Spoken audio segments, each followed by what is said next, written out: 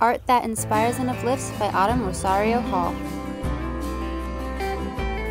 I decided to experiment with some Cartooners ink to add the highlights for this painting.